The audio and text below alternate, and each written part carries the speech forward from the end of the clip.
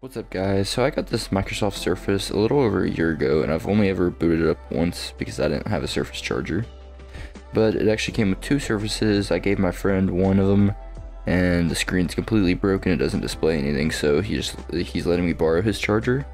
So in this video we're going to try to put Windows 11 onto this one. Um, this one's not a too great of a condition either, as you can see there's a hole in it but last time I used it the screen worked so let's go ahead and plug it in see what happens I whenever I was in like school and I used it it had a BIOS password on it but it, the Windows password hint made me find out what the BIOS password was so it no longer has one as far as I know. At least that's how it is with the Windows one so let's see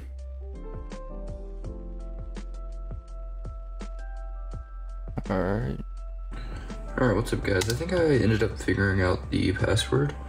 So, I think it's just space, space, space, space. Oh.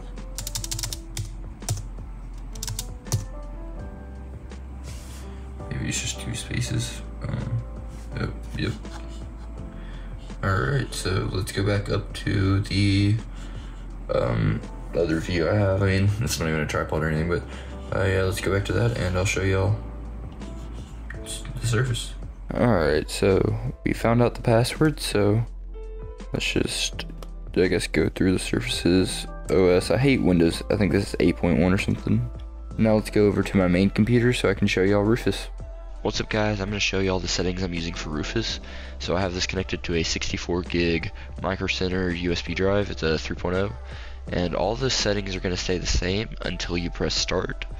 Uh, and whenever you press start, you can see the like bypass options. So I have it bypassing the CPU, the RAM, the TPM, the online account requirement.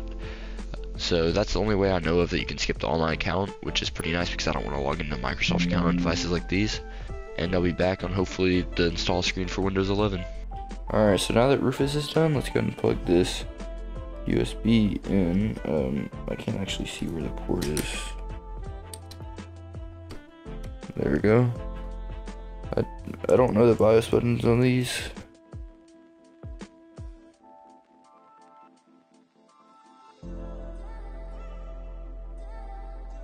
Oh.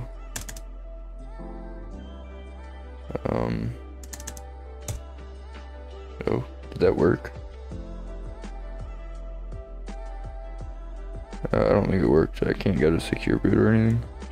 Guys, I went into the UEFI settings um, by holding shift um, while pressing restart and I think I actually booted into the Windows 11 installer. Yeah, I did. So, um, yeah, so what you're gonna do is just, uh, while you're in Windows is hold shift, press restart, uh, then it, you go to uh, use a device and like USB stuff like that and it booted right into this so if it works, I mean, might be able to get this set up. Alright, what's up guys? In the last, last clip I showed you that I got into this, so... Oh, I was Shift F10. We're gonna go to disk part, list disk, oh, I spelled that wrong. List disk, select disk, zero, clean.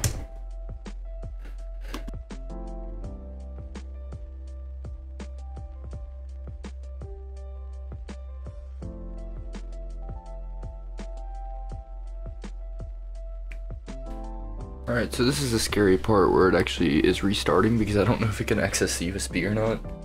Um, so uh, let's hope it works. We have the Windows 11 load up loading bar, which is a pretty good sign. Alright, it's a pretty good sign.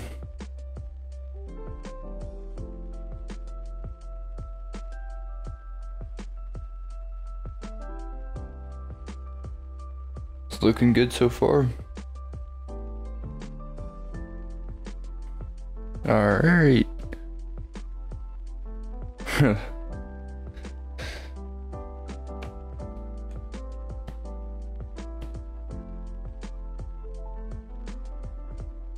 Looks like we are in Windows 11.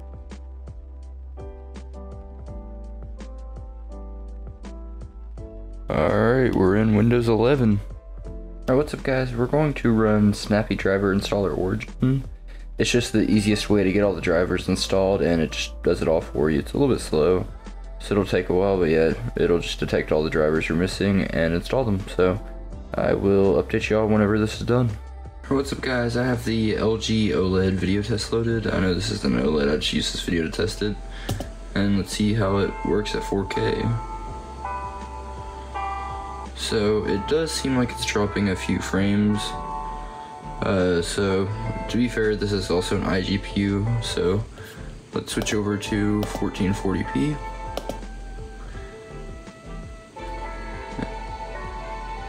And it seems like it's not dropping any frames after the first few seconds, so it can load 4K YouTube pretty well.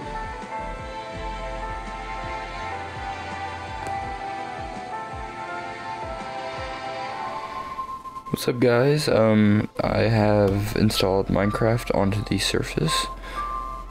So let's see how this plays.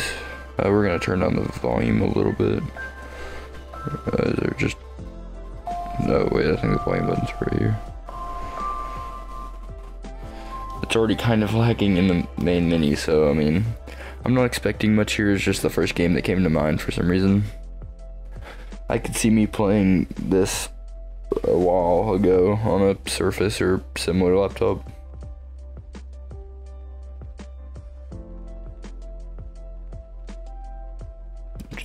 Oh, the computer shut off.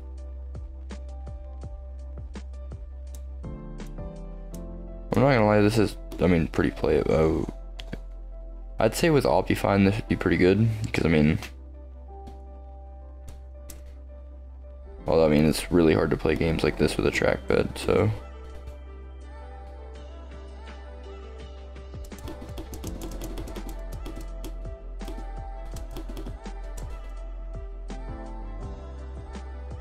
I mean, this is pretty playable. Um, I mean, I, I don't think I'd hate...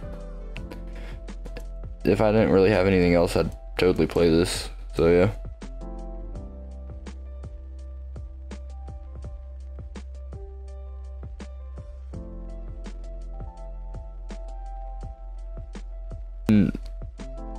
In my opinion, I don't think the Surface is the best on Windows 11. I honestly think that something maybe like Linux might work well on here. Just getting Linux working would be a little bit difficult for me since I don't have the UEFI password. Uh, but yeah, if you have one of these, I'd say honestly try Linux, maybe like a bootable USB. I'm not the biggest fan of Linux, but for old devices like this, especially touchscreen ones, if yours actually works, because yeah, mine doesn't work all the way. Um, I mean, I have a few Linux touchscreen devices that work perfectly, like work better than uh, Windows did, just because they're so low powered. So yeah, um, I'd say if y'all have one of these, I'd try Linux, maybe Windows 10. Windows 11 is a little much for it. That's gonna be all for this video. So thank y'all so much for watching, and see y'all later. Bye.